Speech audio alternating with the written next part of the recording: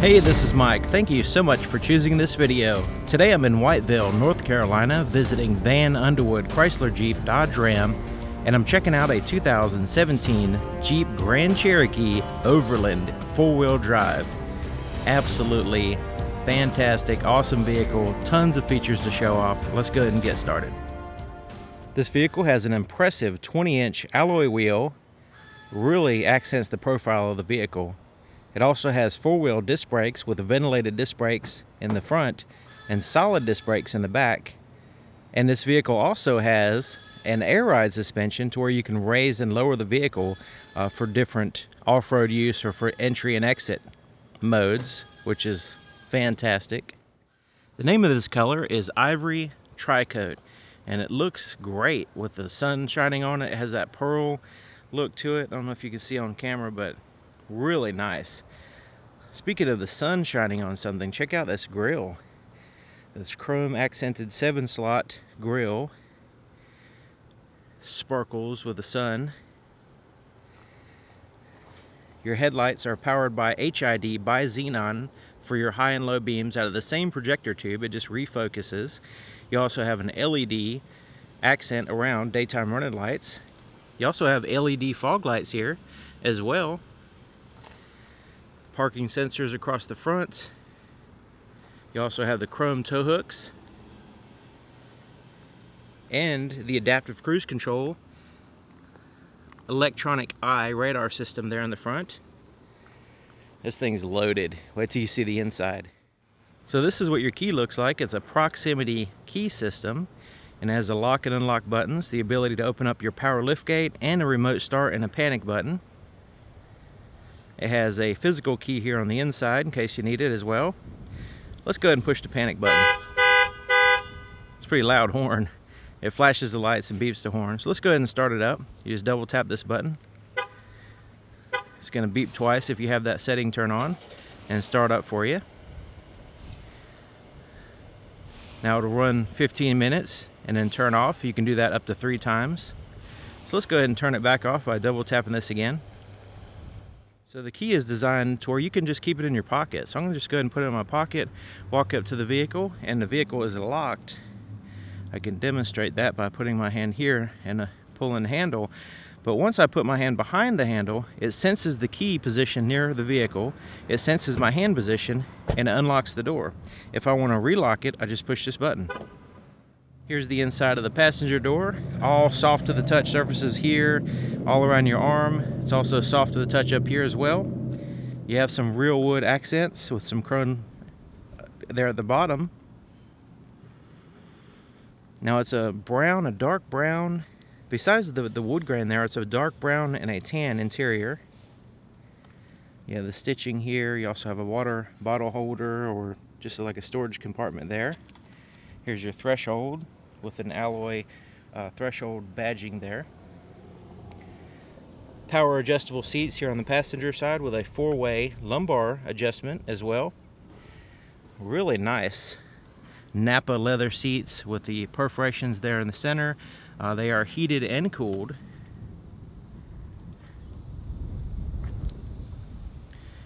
You also have the Overland embroidered in the back of the seat. Very, very comfortable seats. There's your legroom, plenty of legroom as well. Now these uh, floor mats will snap in place and uh, that way it doesn't shift around on you. Check out the dashboard with the wood grain. Lockable glove compartment and it's felt lined on the inside and has a pretty good size. There's also a little compartment up here to put your uh, manual or whatever else you want to put in there. You see it has a privacy glass. It's not a film on the glass. It's actually made into the glass and you can see it keeps people from looking in. It also keeps the sun from shining on you and warming you up. But looking from the inside out, you can see quite well. There's uh, no glare or anything like that. It doesn't reduce your visibility. So here's the inside of the back door. Has the same styling with the soft of the touch everywhere, here and here and here. You have the wood grain back here as well as some pockets at the bottom. There's your threshold. Now the back, back seat's basically a big bench seat and there's plenty of room, plenty of leg room. Now the front seat's all the way back, but look, you still have lots of leg room and the seat's quite a ways off the floor so you don't your knees are not sticking up in the air. There's a slight hump here in the center, but not too bad considering it's a four-wheel drive vehicle. You have some cup holders with the armrest, which you can move out of the way if you need a center passenger. So right in here is your air vents for your climate control. You also have two USB ports for charging your cell phone. Heated seat controls, the seats are heated back here as well. You also have a 150 watt, 115 volt AC power adapter so you can charge your cell phone or laptop, things like that. Now it's really easy to fold these seats down for cargo mode. So if you want to add to the cargo space in the back, you just lift this up. And in just one action, it goes straight down, it folds the headrest, and it goes almost completely down. Now look, the seat actually goes in a lower position too uh, to get that level surface with the rear of the vehicle. And check out this panoramic sunroof. That is really, really nice. Okay, let's take a look at the back of the vehicle. You have a combination of LED and regular bulbs here in the back for your tail lights. Backup camera is dead center, just under the Jeep emblem, which makes it a lot easier to back up to a trailer when it's in that center position. You have your 4x4 badging. There's your towing hitch with a 7 and a 4-way outlet for your trailer.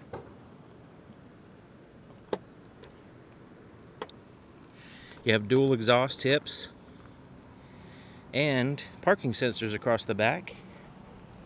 You also have a blind spot monitoring system to where when you change lanes, it will let you know if there's somebody in your blind spot and there's little indicators here on the rear view mirrors, a little triangle there.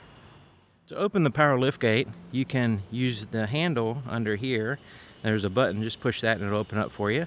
But in this case, I'm just gonna go ahead and use the key. So we're gonna go ahead and double tap here where the power lift gate is. It's gonna raise right up.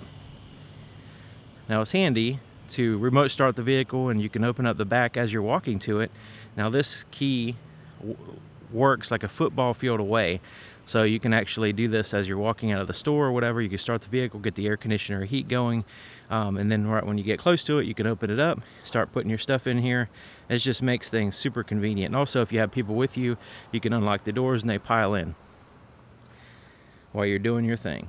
Okay, so you can see it has a shade back here and you can kind of get it out of your way like so. It also is removable so you can add to your cargo space. And once you fold the other seat down, you have this massive cargo space in case you really need to pick something up that you, uh, you know, something huge, and you can just go ahead and put it back here. You also have these sliders here. You can put stuff, it's easier to slide across the carpet when you have these raised alloy uh, metal pieces here. It also protects the carpet as well. You have a subwoofer in the back, 12 volt power supply that's powered on with the ignition switch and then you have some grocery bag hangers there as well as here there's also a net pocket there that little cubby that you can hook up right there and then you have the tie downs on all four corners and check it out an LED flashlight that's charging so when you need it you have a little flashlight here and when you don't need it it's charging and staying ready for you next time you need it. And speaking of lighting, you do have two light sources here under the the lift gate, which illuminates this area quite well as you're, uh, you know, using your your cargo space. Under this floor, you have a storage compartment. You have this little hook here that holds it up for you. And in here, you have a full-size spare tire and tools you also have a little funnel there for putting gas in your vehicle. And you have these removable bins that you can take out, you can dump them, and you put them back in. Really handy. To lower the lift gate, the power lift gate, you can use the key or you can just push this button like so. It's going to beep at you a little bit, let you know it's coming down. And it starts coming down slowly if something were to get in the way, like my hand. Just a little bit of pressure there and it goes back up. So it's not going to you know, damage anything. Uh, you do have to watch out for fingers and stuff. But other than that, especially child's fingers, because when it comes down, right there at the last few inches, it's going to go a little bit faster. So if a child's finger's there, then it might be an issue. The fuel door is lockable, and it's on the driver's side for convenience. And it has no cap. Check it out. You just put your nozzle in there, pump your gas, you're good to go. You do have to use a little funnel in case you use a gas can, but how often do you do that on a vehicle like this? It does have like this rubber seal around the outside here. It also has a two-stage system, and also it's not easy to get in there.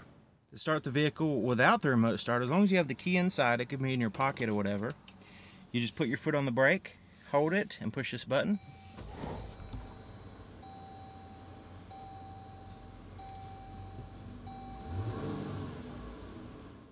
Here's the floorboard in front of the driver's seat, and you can see the floor, floor mat actually snaps in place. Here's your accelerator and brake pedals, as well as a foot actuated parking brake, and then you have a place to put your left foot right in here. So let's go and take a look under the hood.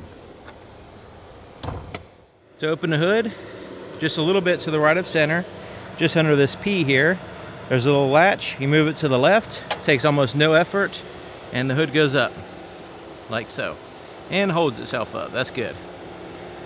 Okay, so underneath this cover is a V6 engine it's a 3.6 liter Pentastar V6.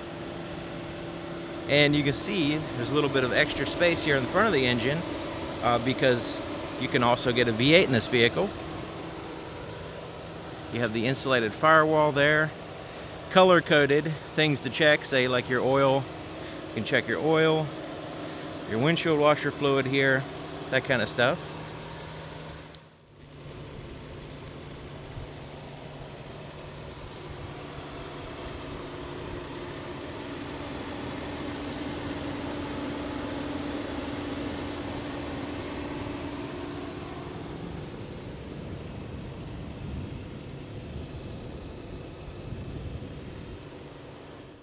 Here's the inside of the driver's side door, and it's just like the other side, except for it has a few more buttons.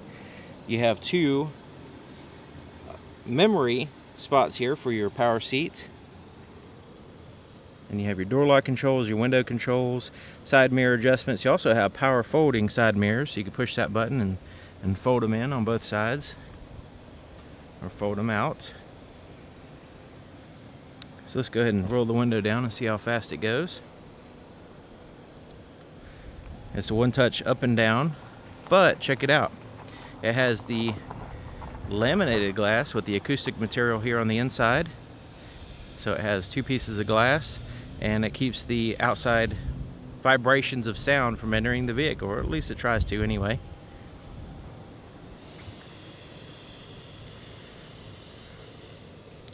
Here's your power seat and power lumbar support for your driver's seat.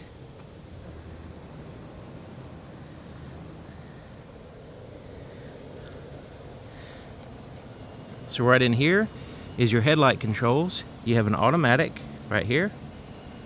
Automatic, off, parking lights, and then your headlights. And then you also have an interior uh, dimmer switch that also turns on your interior lights as well. And you have a power tilt and telescoping steering column here so you can actually adjust it and fine tune it even when you're driving. You can kind of do that number. Okay, let's go ahead and take a look here on the inside. Extremely comfortable seats. Especially on a hot day like today, you have the cooled seat option. That's fantastic as well. So before we get started in here, let's take a quick look at the window sticker so you can get some information off of it by using the pause button.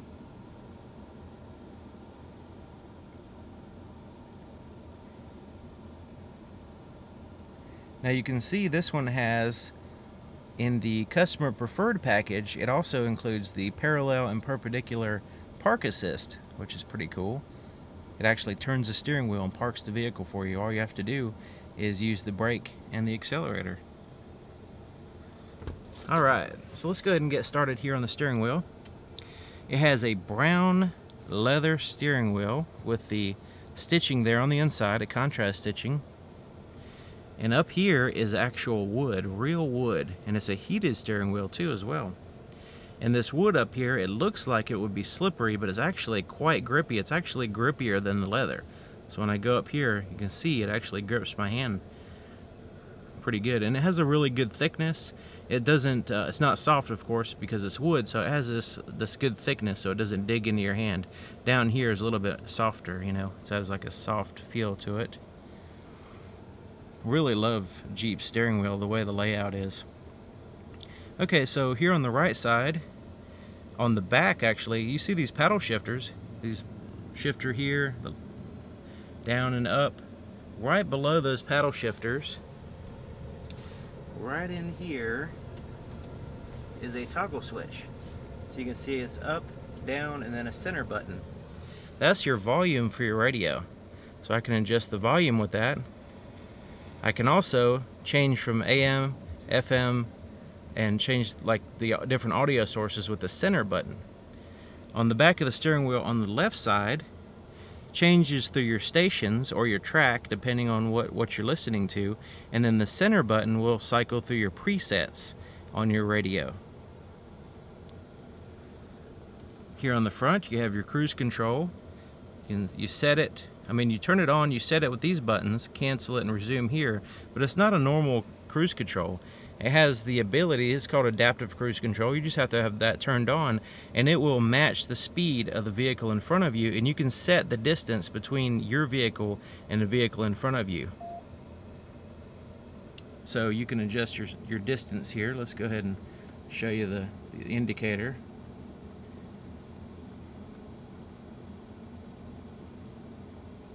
You can see the different basically it, it keeps you at a certain distance. I like a real far distance from the vehicle in front of you but sometimes you can't have the too far of a dif difference because um, you know somebody might somebody might jerk the wheel and get in front of you and then you know of course you, you lost all your following distance. So you can kind of adjust it the way you want it depending on your speed and all that stuff um, really handy because you don't have to constantly adjust your speed when you're on the highway it's going to slow down uh, when the vehicle in front of you slows down, that kind of thing. Okay, so on this side, you have your Bluetooth controls. You can answer calls, hang up, and you can make calls with the voice recognition, but you can also do a lot of things. You can go to certain places on the navigation system. You can change the radio station, adjust the climate control. There's tons of uh, voice recognition commands that you can use that keeps your hands on the wheel and eyes on the road while you're staying productive, making calls, receiving calls, and adjusting things on, this, on a touchscreen just by using your voice. So these buttons here correspond with the gauge system, the screen between the gauges, um, which I'll show you in just a second. You can see you have your turn signal there with your, with your uh, window, uh, window wiper controls for your front and rear. Okay, so right in here is your RPMs for your engine. On the right side, now these are your physical gauge, gauges there on the end. On the right side, you have your engine coolant temperature and then your fuel gauge. But right here in the center, you can see, let me zoom in a little bit.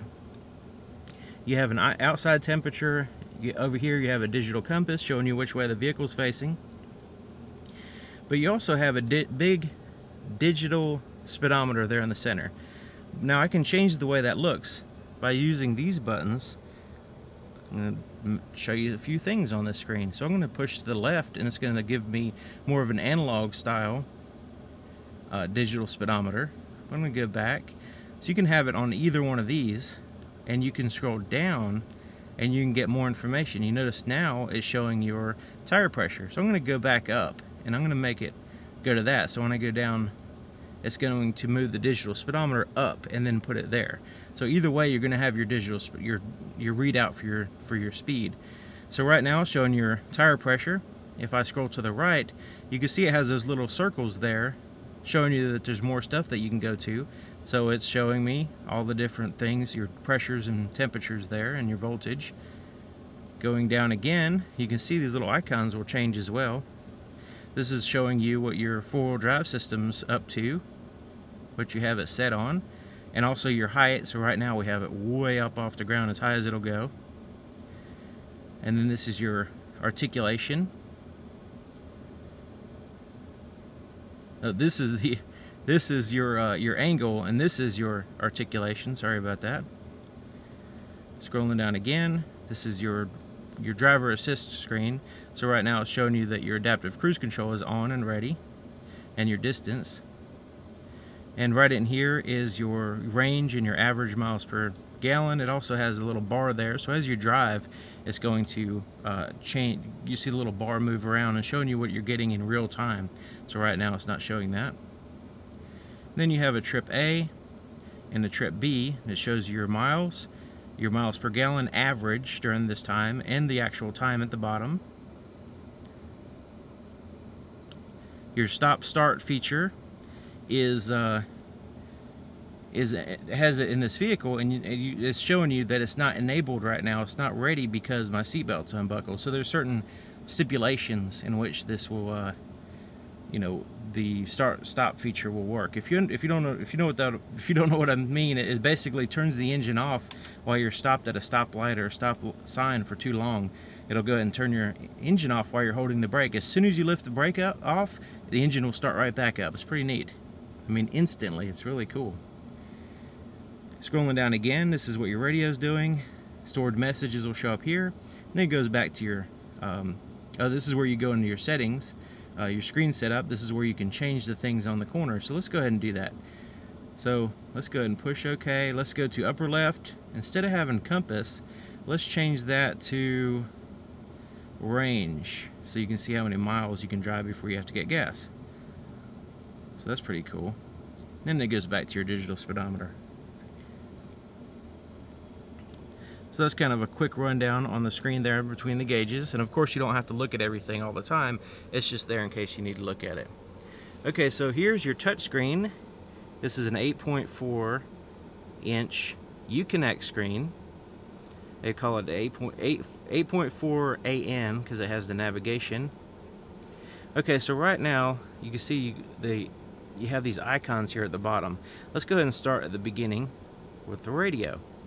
Then you have your AM, FM satellite radio, your presets across the top. You can adjust your audio. You can tune to it specifically to a station. You can browse different genres and things like that using the browse button because you know if, if you're familiar with satellite radio there's tons and tons of stations.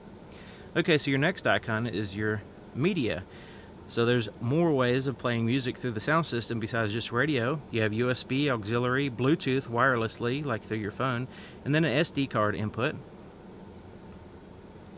controls. This is where you'll find your heated and cooled seat controls, heated steering wheel, and then your passenger side controls there. It also has access to your backup camera so you can look at it even without putting your vehicle in reverse. So you can look behind you. And also, uh, you'll see your settings. So right in here you can see your display, your clock, lights. This is also where you can make it to where it beeps the horn when you lock the doors or, or not or beeps the you know where it doesn't beep the horn when you remote start it that kind of thing. You can pair phones all kinds of settings here. And that's in your controls screen. Then you have your app screen. This is where you have access to all the icons um, not just the ones that are at the bottom and you can actually swap out icons here at the bottom so let's kind of pick one here so right now we have navigation down here. So let's take and put our um, screen off. Let's take that and grab that and kind of drag it down here and it's going to replace the navigation. So if we change your mind, we go to the navigation, drag it down and put it back. Alright, next icon is your climate control. So you have your fan speed, where you want the air to blow, your temperature on each side, which is a dual zone. You can also sync it if you want. And then you have your front and rear defrosters, that kind of thing. It's a hot day today. I mean, there's it says 90 degrees out, but it feels hotter than that because I'm in direct sunlight. So I have the air conditioner on. So hopefully that doesn't bother you too much. Okay, next screen is your navigation. So we can choose an address. We can go to different points of interest here on this screen. Or we can view the map and just kind of see where we're at get our bearings. We can zoom in and out and you can see we're in North Carolina at Vann Underwood. And it looks like it has a truck there kind of looks like a truck to me. So let's go to the options let's go to settings and let's go to map setup vehicle icon and yeah it's got a truck there so that's kind of getting on my nerves. So let's change that. We have Jeep we have there we go. There's the Grand Cherokee. Let's let's accept that. So there we go. Now we have a Grand Cherokee icon which is what we want so there's your navigation screen it kind of works like any other navigation except for check it out it's just really crisp and clear um, it also has the little bubbles there for the street so it's easy to read so really good navigation system. And then last but not least is your phone. Once you pair your phone, you don't have anything there now, but this is where you can have access to your phone book and recent calls. You have your favorites there at the top. You can actually transfer it back to your cell phone if you don't want everybody in the vehicle to hear your conversation, which may be handy. You can also turn the screen off right here with this button if it's just distracting you or whatever.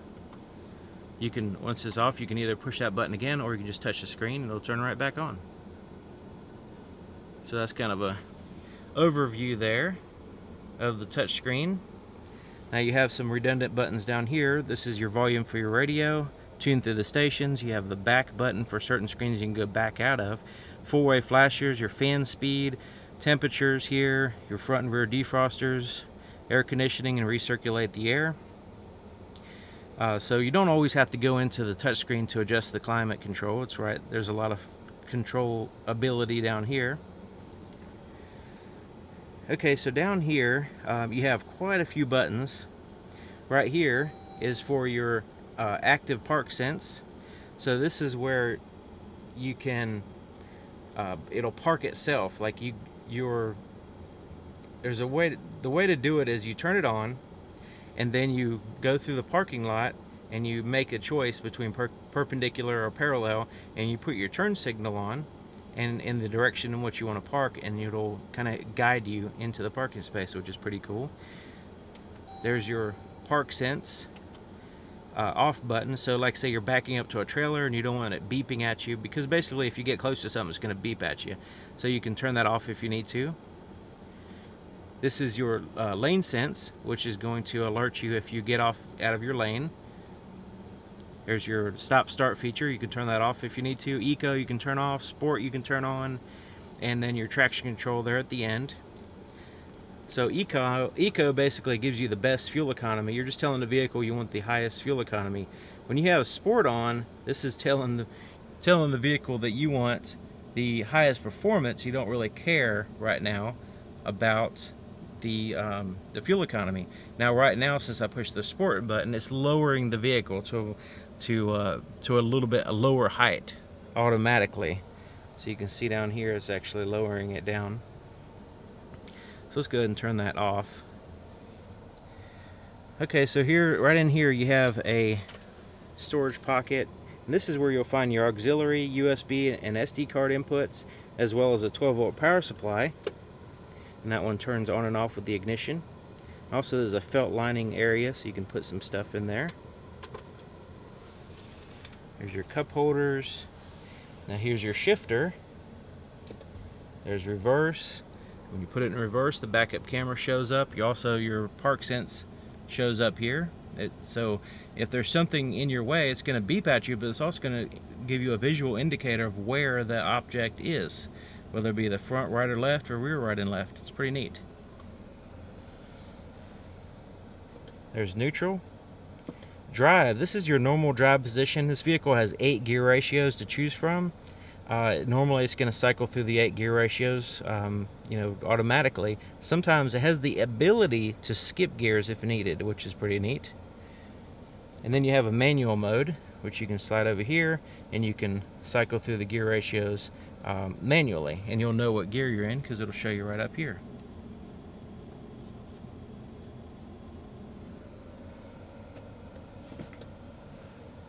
Okay, so here's your four-wheel drive off-road type controls.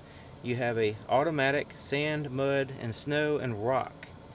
So this will adjust the way the transmission works, the way the four-wheel drive works, all that stuff to give you the best traction possible You can raise and lower the vehicle here. You have a four-wheel drive low range, which is some super, super duper duper uh, heavy duty off-road, really slow, crawling through rocks type four-wheel drive system. And then right in here is your downhill descent button. This is for off-road use only. It's a, it's kind of like a cruise control in a way, but it keeps you really, really slow going down a hill without going too fast. It just kind of creeps you down the hill. Okay, so here's your center armrests. And it has a really good cushion here. It's pretty soft. And um, it lifts up in two portions. So there's two buttons, one on each side. You push the smaller one, and it gives you the smaller compartment with the felt lining.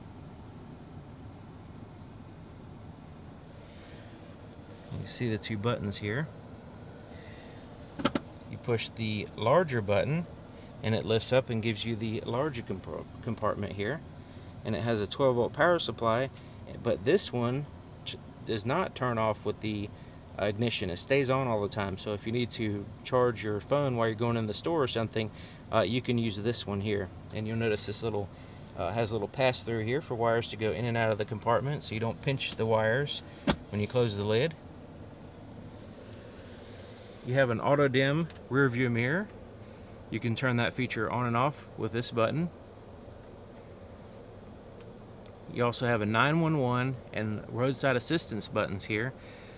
Um, this vehicle has its own cellular connection, so even if you don't have your own your own cell phone connected to the phone or whatever, um, you can always push these buttons, especially the 911, and it'll call an operator and it'll it'll go right through the vehicle just as if you're using your phone through the vehicle. Same thing with the roadside assistance here. You can also use the assistance button to talk to a, um, a, a vehicle specialist so they can walk through walk you through how to use the radio, things like that. Here's your place to put your shades. You have some tap lights. Now this is a floodlight. This is more of a spotlight in case you need a reading light or something. Your HomeLink garage door openers are right here. You have the ability to open up your power lift gate right here from the driver's seat as well. These buttons are for your uh, sunroof, which I'll show you in just a second. Here's your visor, and it has mirrors and lights. It also slides out. Um, so when you turn it here to the side, you can slide it out uh, to get, get it right where you want it, which is a good feature because the sun always gets in your face while you're driving, doesn't it? Okay, so here's the panoramic sunroof.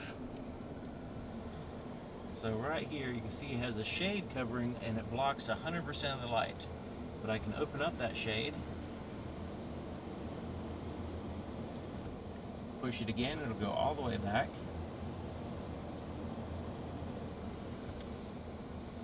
So you have this massive glass here on the top of the vehicle, which is fantastic. It also kind of helps out with claustrophobia when you're sitting in the back seat. You can open up the front portion so you can get some air flowing through. Push it again, it goes a little bit further back. You can close it. And we can vent it up so we get a little bit of air. We can do that as well. And on a hot light day like today, I'm going to go ahead and close up the shade to keep the sun from shining on me.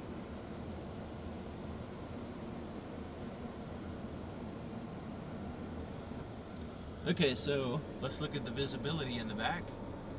Really good visibility. Uh, I do have one of the seats down, but you can see even if the seat was up, the headrest on the other side just goes right where the, the pillar is in the back, so it doesn't really uh, mess up your visibility So you can see pretty good. You have lots of glass back there to see out of. And of course with your blind spot monitoring system, um, your parallel parking system, uh, your backup camera, your parking sensors, all that stuff, shouldn't have a problem uh, backing up anyway. Okay, so thank you for watching and thank you to Vann Underwood Chrysler Jeep Dodge Ram here in Whiteville North Carolina for allowing me to show off an awesome vehicle and I'll see you guys next time.